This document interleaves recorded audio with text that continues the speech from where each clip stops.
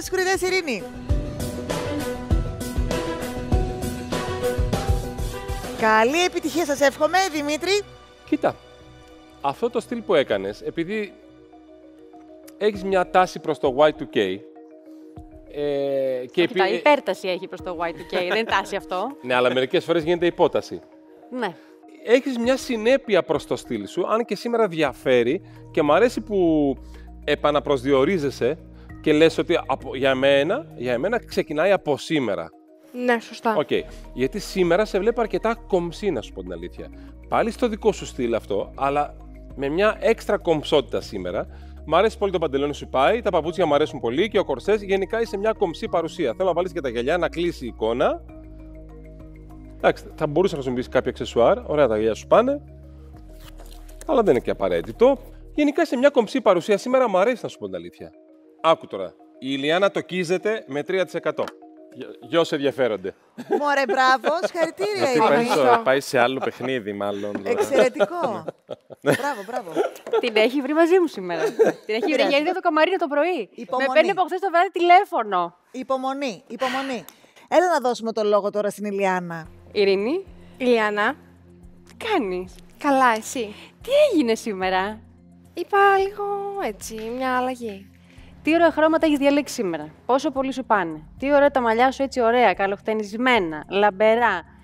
Μπράβο, καμάρι μου. Στο. Λοιπόν, ε, χρωματικά μου αρέσει πάρα πολύ το look σου. Ε, ο κορσές νομίζω ότι θέλει λίγο μια προσαρμογή καλύτερη πίσω. Νομίζω ότι σου πηγαίνει στο μέγεθος, ε, στο ύψος εννοώ, γιατί φαίνεται λίγο, λίγο σαν να τσανακώνει, σαν να τσαλακώνεται. Mm-hmm. Αλλά μάλλον δεν έχει δεθεί πολύ καλά από πίσω. Ναι, είναι για και να το μικρόφωνο και mm. μου πέφτει. Ε, έχεις κάνει πολύ ωραίους συνδυασμούς, έχεις βάλει ωραία τσάντα, είναι ένα ραντεβού επαγγελματικό, θα μιλήσεις με έναν άνθρωπο. Εγώ σίγουρα θα ήθελα να φοράς κοσμήματα. Συμπληρώνουν πάντα μια εικόνα και δεν έχει να κάνει με το να είναι κάτι ακριβό ή λαμπερό ή το οτιδήποτε. Είναι κάτι που έχει να κάνει με το, με το στυλ. Mm-hmm.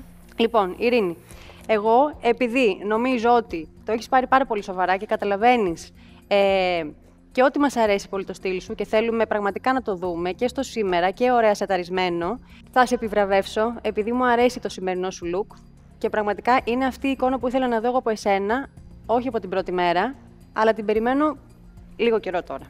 Τέλεια. Τρία. Ευχαριστώ πολύ. Μπράβο, Ειρήνη. Και τώρα θα κλείσουμε με το στέλιο. Δεν θα πω πολλά. Περιμένουμε πρώτα και μετά, εντάξει. Λοιπόν, Ειρήνη, επιτέλους, έχουμε κάτι να συζητήσουμε.